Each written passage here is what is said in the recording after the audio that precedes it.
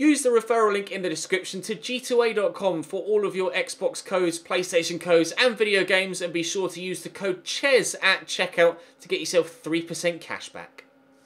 Hey guys, welcome to episode number 5 of season 3 here at Southampton. Thank you for all of your feedback on the previous episode with regards uh, new potential central midfield signings. I've added a number onto the shortlist as per uh, your recommendations. We currently have 46.6 million pounds available to us, but Charlie Austin is in the process of leaving us, so that will be added to soon.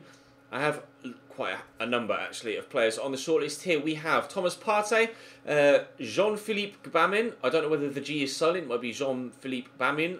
I'm not sure. Feel free to let me know the pronunciation in the comments. Uh, Ruben Neves as well. Leon, uh, Leander Dendoncker, Saul, Ceballos, Suarez, Denis Suarez obviously, Ozyakup, Lewis Cook, uh, Ayoub, Cyprien, Andre Gomes, Gundogan, Harry Winks, and Corin Tolisso, who of course were already on the shortlist anyway. Uh, as to who I would prioritise throughout this list, at this stage, no idea. Still waiting for scout reports, or at least partial scout reports on uh, Thomas, I mean, Neves, Dendoncker, uh, Lewis Cook, Ayoub, and Cyprien. Obviously, Corentin Tolisso we've looked at previously and is very, very talented. Ilkay Gundogan is also very, very good too. Andre Gomes has superb stats as well, but his wages might be a real uh, struggling point because uh, he's actually on 230 grand a week. That's a lot of money. Certain number I might not be able to uh, to rival. We have Denis Suarez also on a lot of money as well, but he's still pretty tasty, uh, able to be good in the tackle or good enough in the tackle, and his passing, short passing of 94 is pretty mad. Dani Ceballos actually looks very good. Good in the tackle, good in the the uh, with the ball at his feet as well, and passing's decent. Saul obviously is a wonderful all-round player. Shorty pass, shorty, shorty, 90 short passing and 90 stand tackle. To be fair, he's probably rival with Corentin Tolisso as favourite to sign, but valuation might be an issue with him as well and uh, Dendonck is decent. We know Ruben Neves. I'm keen to see what his stats look like.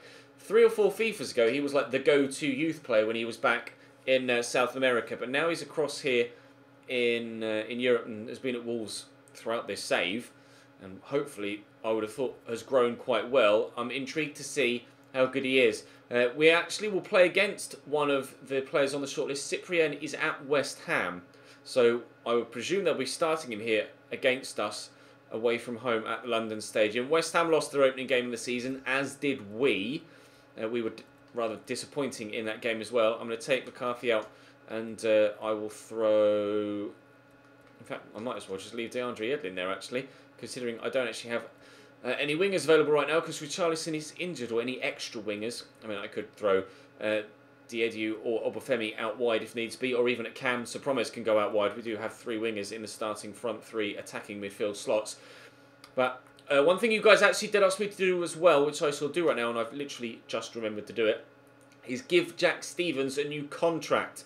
He currently has a release fee clause of about five million, I think you said, and he um, let's have a look. Go to financial, financially press the right button he has a release fee clause of 5 million and a valuation of 7, which indeed he does. So uh, let's delegate the renewal. He's on currently on 32. There's no way I'm going to give him £96,000 a week. We'll start at 40, and he's not getting any more than 55 out of me. And he doesn't want to negotiate any further. Well, you're not... Mm, okay, I might have to do that manually then, rather than delegate. But never mind.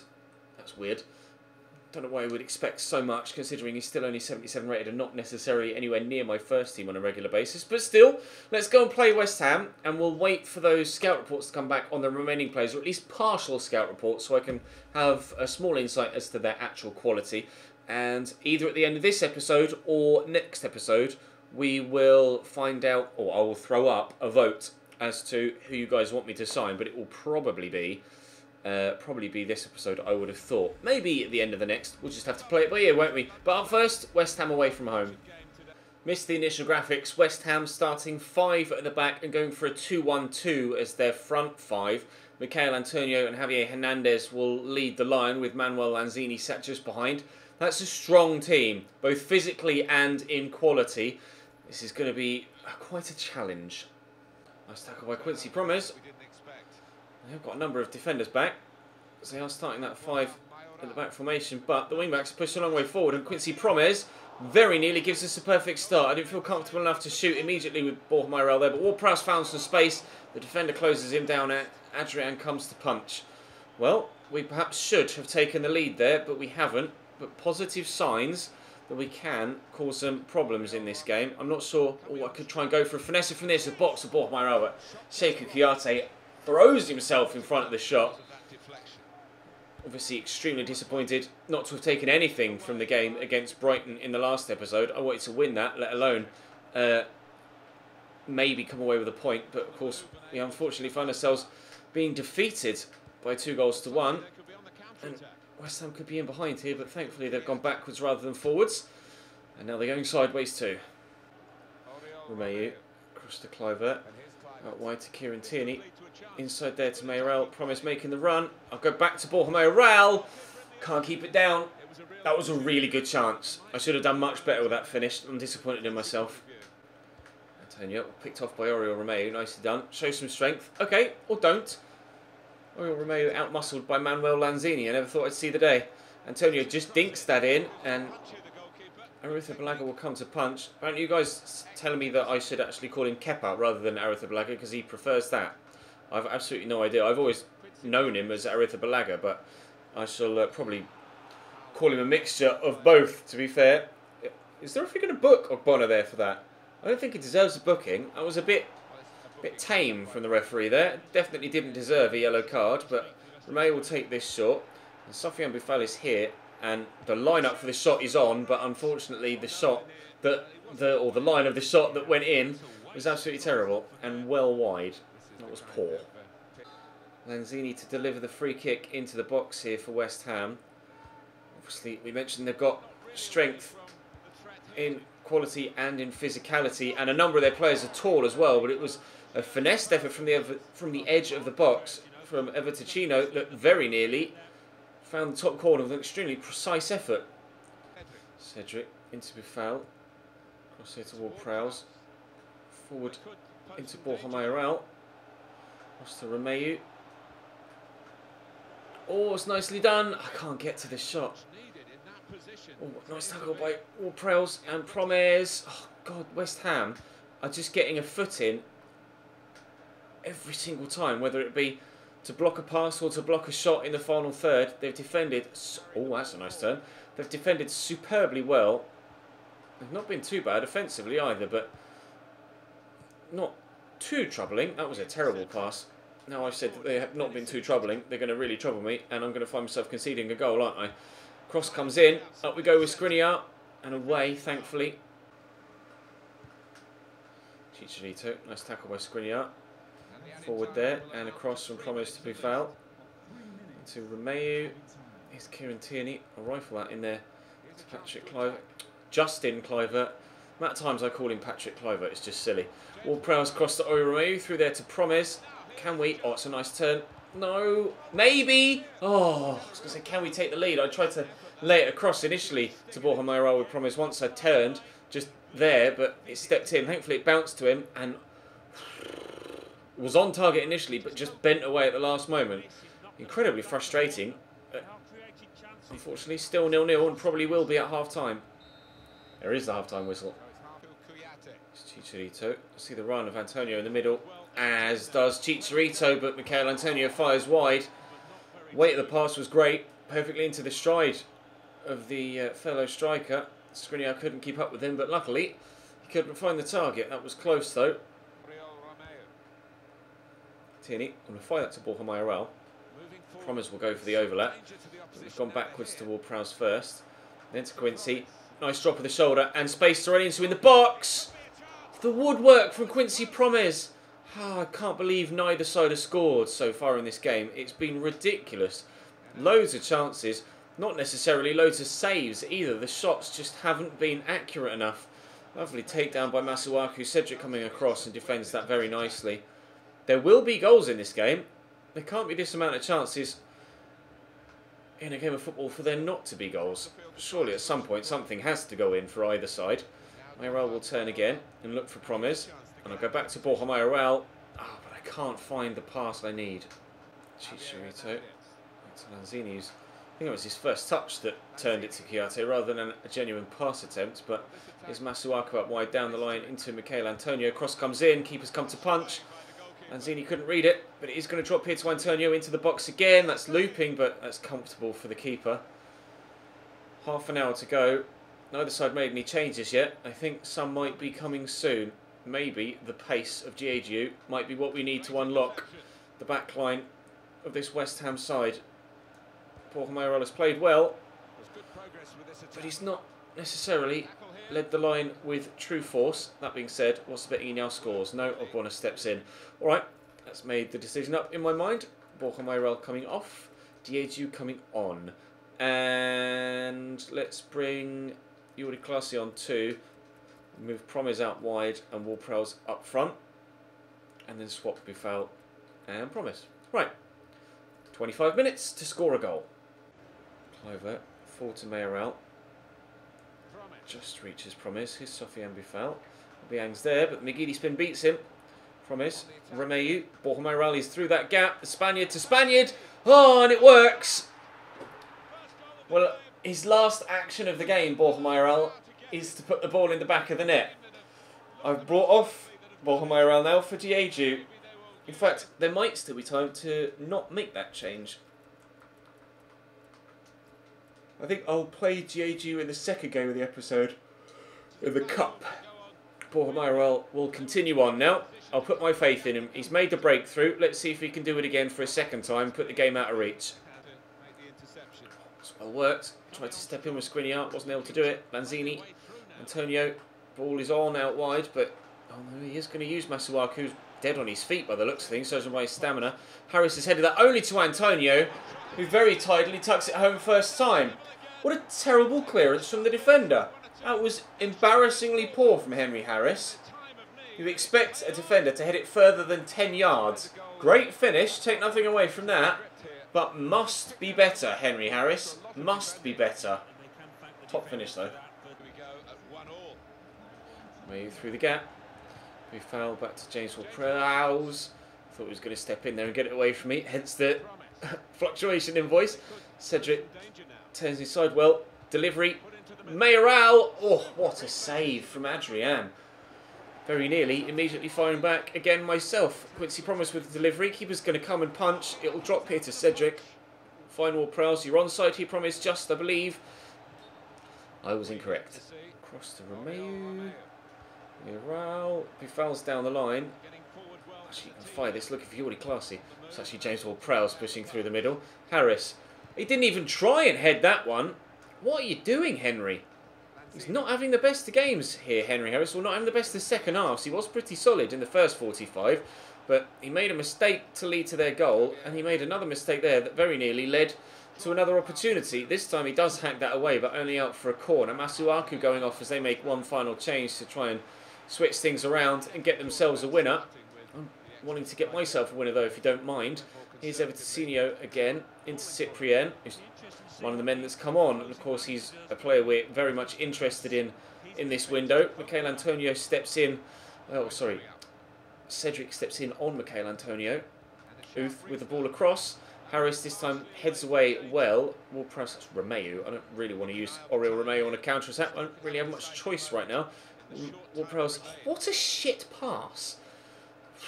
Ward-Prowse was arriving, and I really needed something better than that from Oriol Romeu. Skriniar can't cut that out, but Cedric can. Move it out wide here to Quincy Promes. Look for Mayoral. Oh, the pass is read by Phil Jones. Looks like it's going to be a point apiece here at the London Stadium. I would very much have liked to get the victory, but it does look like it's only going to be a draw. Antonio will deliver. Keeper will come and catch well. Free kick given. I would have liked to have played on and actually tried to catch them on a quick counter-attack, but now, of course, all of the defenders are going to be able to get back into position, and as I build the ball away, what's the betting that the full-time whistle will arrive before I'm able to build anything? Never mind. It's really annoying. A, to draw, and B, to draw because of a mistake from a defender. I felt I did everything right in that instance by clearing the ball at the near post, trying to just get it away, but unfortunately the clearance wasn't good enough from Henry Harris. And we draw 1-1 at the London Stadium. We'll advance the next week and see what else happens in the transfer window. In fact, we've got three emails. Charlie Austin sold. 9 million added to my budget, plus 80 odd thousand pounds a week. And Richarlison is on his way back from injury too, which is great news. There have been a few people in the comments asking where Richarlison is. He's been injured. That's where he's been. But, well, why is that Charlie Austin money not gone onto my budget? I had 46 million pounds and the Charlie Austin money hasn't gone onto my budget. Let me advance a little bit further. Pretty sure I should have well over 50 now. Don't tell me it's failed to add the money to my... Okay, good. I did have a slight panic there. Thinking that it had forgotten to add the money. I just needed to advance a little bit. Okay, so... I've got enough, maybe, for most of the players on the shortlist. The majority of the players on the shortlist, other than people like Saul, uh, Gomes, and uh, Tolisso. Okay, because I've not really got anyone else I can sell for any real valuation. Minimal, minimal, minimal. Okay, well that is going to make it slightly easier to make a decision because it immediately rules out three of the higher rated players. So if I just do this, we can get rid of Saul, get rid of Tolisso, and get rid of Andre Gomes. I can't afford any of those guys. We could perhaps afford Gundogan. Uh, Denis Suarez is still a genuine uh, possibility. Uh, Dani Ceballos is very good too. Denis Suarez, was he any good in the tackle? 60 stand tackling. It's not amazing. What's your coup? 61. Not exactly incredible either. Dani Ceballos is 23, so two years younger than Denis Suarez, and he's okay in the tackle and okay in possession as well. His ball control and dribbling is very good. Might go for Dani Ceballos, you know. Right, well now we know how much money we've got to spend. Uh, yeah, I'll put it to a vote. I'll go and play Bournemouth, but now we know how much money we've got to spend. No, let me let me get the scout. Let me get partial scout reports back first, because I'm I can only put five people in on the vote, so I'm going to have to narrow it down yet further. Can I play in? No. Right, Bournemouth away in the Carabao Cup, and then we'll be uh, back to Premier League action with the game against West Brom in tomorrow's episode on transfer deadline day. But we shall rotate around a little bit. Richarlison, can he start? No. But he should be able to play from the bench. So let's put Jordy Clasie in at cam and Promes out wide.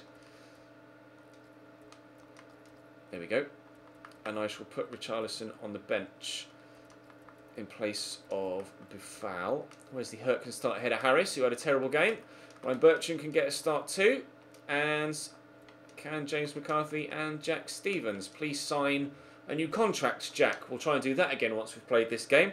Right, we haven't won the League Cup yet. We haven't actually gotten very far in the League Cup at all in any of the opening two seasons. Let's try and do it this time. Right, Lewis Cook, who is on my shortlist, is starting this one. Gacinovic and Roberts out wide, Josh King up top, Chilwell, Cook, Ake and Smith with Begovic in goal.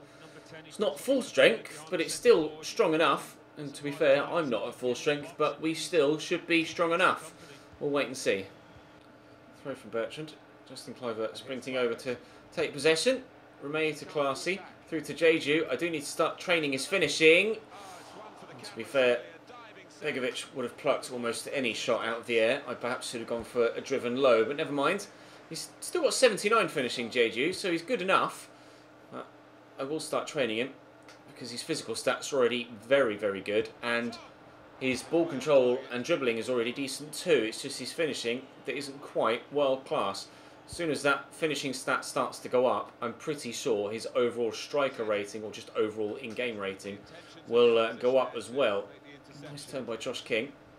Drags that back, plays it into Salah, but unfortunately for him, he's giving it straight to me. Tar. Nice tackle by Wesley Hoedt. Walter Clasie. He's asking for the ball through that channel Yetu. Oh, tried to take it early to try and catch keeper and defender out. And we caught the defender out, but the keeper was equal to it. Good chance that for Diedhiou, actually. Felt like if I took it an extra pace, his pace would have taken him too close to the keeper, and Begovic would have had a simple save just to gather it up. But as it happened, we took it early. Unfortunately, weren't able to take the lead. They might be able to do something similar at the other end, though. No! Ryan Bertrand scores an own goal. Great save by the keeper. Bertrand just sticks out a leg trying to take a touch. Oh. I think that's one of those you can call a FIFA goal, because in real life, that wouldn't have happened. Never mind, 1-0 Bournemouth after 37 minutes. Lemina to Cedric. Down the line there to Promes. Into Lemina again. Jordy Clasie's there. Drive past. Oh, Jordy. No, where's Nathan Ake come from? I thought I'd beaten him there. You forget just how quick Nathan Ake can be sometimes. Salah's in behind here. Jack Stevens trying to catch him. Salah created the chance that led to the opening goal and if it weren't for the post would have created the chance that led to the second goal as well. Poor dearie me. Very nearly 2-0 Bournemouth. Cedric rifle that to Promes. First touch was great. His second touch was crap. Lemina into Diedhiou. Oh, lovely footwork. And the acceleration and the finish, not there. Promes just didn't react in time, couldn't stick out a leg. I'm going to go in at half-time, 1-0 down here. King, Salah, lovely touch and turn. Now here to Gacinovic. Into the middle to Josh King. Oh, no! I just couldn't switch player and stick a leg out quick enough.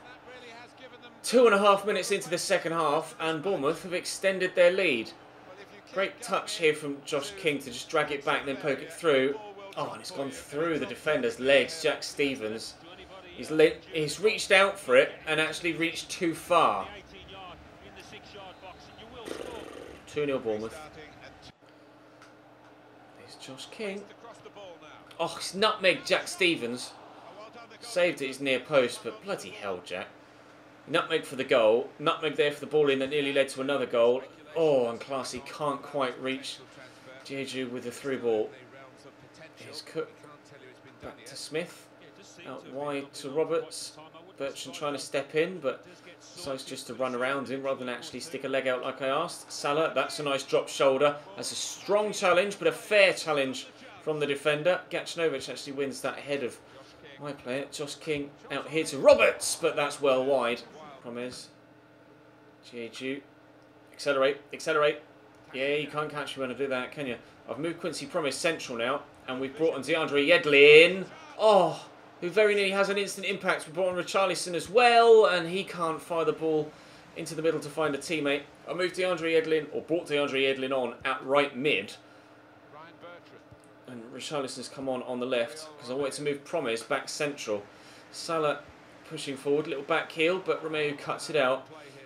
Is that the second time I've hit the woodwork in this game, or was it in the previous one? I can't quite remember, actually. I think I hit the post in this game, didn't I? Might well have been the previous one against West Ham, but regardless, we just hit the post there. Josh King twisting and turning. That shot's well wide, thankfully. 25 minutes to go.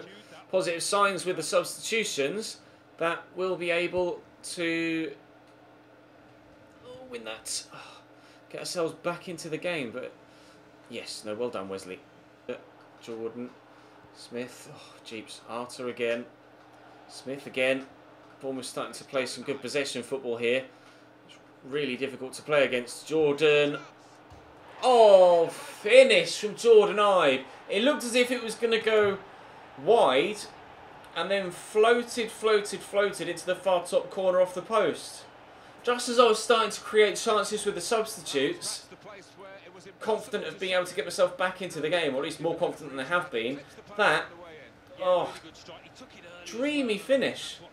Dreamy finish. There's no chance of Alex McCarthy or any goalkeeper getting anywhere near that. What a goal. Oh, nice ball by Jordan oh, O through to Gacinovic, who's onside. Lovely ball into the box, but we will clear it away. We clear it away properly. Maybe score a consolation goal, perhaps. I'm definitely not going to be scoring three in the six minutes that remain. So disappointed. I really wanted to do well in this competition this year. After picking up the FA Cup last year, I wanted to add another domestic cup trophy to our cabinet this season. Unfortunately, that isn't going to happen, at least not in Season 3. We might well have to wait until Season 4 before we win the League Cup. Diedhiou shrugged off there, just not strong enough. Oh, we are still a work in progress here, this Southampton side. We may well have finished second last year, but we definitely, definitely aren't capable of pushing for the Premier League title this season. And we will find it difficult to replicate the success of last year. I'm almost certain of it. There's still plenty of work that needs to be done to this team to make it world class. We don't really have any truly world class players. Well, that wasn't meant for you. Oh, Jesus Christ. We don't have any world class players, really. Our goalkeeper and Quincy Promes are kind of the two higher rated players, but nobody else really, you'd say, is top draw. We're very effective the majority of the time, he says, 4 0 down against Bournemouth. We're normally very effective, but we're not necessarily, you know, a top quality side. So hopefully, this season we can. I'd be happy with top six again this year in the Premier League. I'm so heavily disappointed to have gone out of that competition so early on, though. But such is the way of things. Let's have a look and see if we've got any scout reports back for the other players on our shortlist. Got scout report back on Willian Cyprien at West Ham. Obviously, we just played against him today, but we weren't able to get the victory. And he didn't really play that much, to be fair. He came off the bench. His stats look decent, and he's very much affordable. Um, so, as such, he's very much in the reckoning or in the running for the new signing. I've had loads of games rescheduled, so I believe the Champions League group stage has been drawn. Am I as far as I am as far as transfer deadline day, so I'm not going to get I'm not going to get scout reports back now for Thomas. I mean, or Ruben Neves. Actually, oh no, here we go. I've got I've got a vague idea. I've got a vague idea. Right, so Thomas Partey, physicals, good jumping, good stamina, okay strength, pace wise he's all right. Slide tackle and stand tackle look good. Short passing looks good as well. Uh, ball control and dribbling, okay. Uh, Bamin, let's have a look. He's two star skill moves, three star weak foot. Doesn't necessarily set me alight. Good strength. Uh, good aggression. Well, great aggression. Good acceleration at sprint speed. Uh, stamina's okay. Jumping's okay. Oh, his tackling looks decent, but he's really not that good on the ball. I'm going to say no to him. Let's have a look at Ruben Neves. He's three star, three star. Physically, he's not as impressive as a number of the others. Technically, short passing is very good. Stand tackling's okay. He's only 22, so there's going to be room to grow. I think I'll throw him on the short list. I think Thomas being 26, I've got I've got better younger options to be fair. So I'll take Thomas off. Ojiku 61 slide tackle, 68 stand tackle. Lewis Cook I'm going to say no to Lewis Cook. Ayoub. Uh, my short passing's not that good. His long long passing's good. I'm going to say no to Ayoub as well. Oh, there's so many people on this bloody list. I'm going to say no to Harry Winks as well, I think. There are definitely better options. And to be fair, I already have better options in my current squad than Harry Winks. Uh, Dendoncker, 4-star weak for only 2-star skills, but he's... I've got there are better options. There are just better options. So Ruben Neves, Dani Ceballos, Denis Suarez, Ozuku, Cyprien, Gundogan. I mean Gundogan's not he's 28. He's the highest rated, but he's 28. But he's 4 star, 4 star. I can only have 5 options on a vote. That's the problem. So someone here has to go.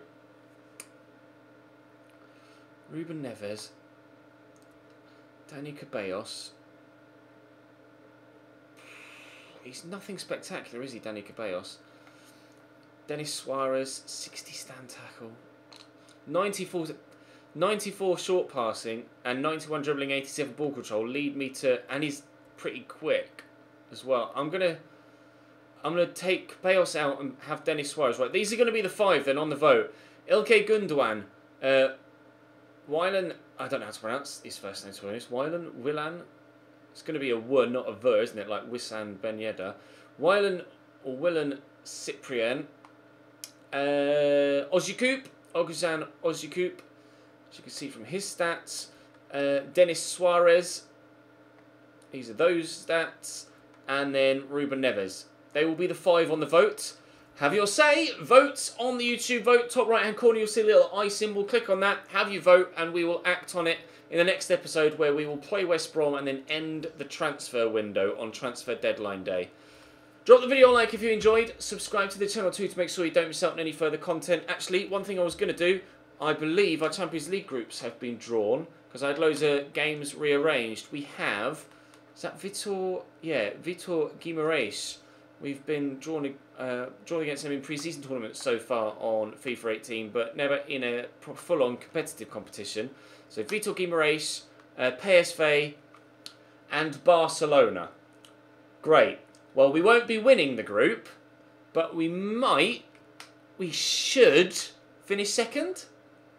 We're better than PSV, surely. And we're definitely better than Guimaraes.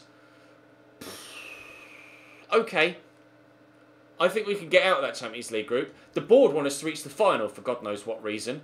But I'm definitely not going to be able to do that. But get out the group stage is at least the minimum requirements for me this season. Drop the video a like if you enjoyed. Subscribe to the channel too. Let me know in the comment section down below which way you voted. Do have your vote. And I'll see you next time.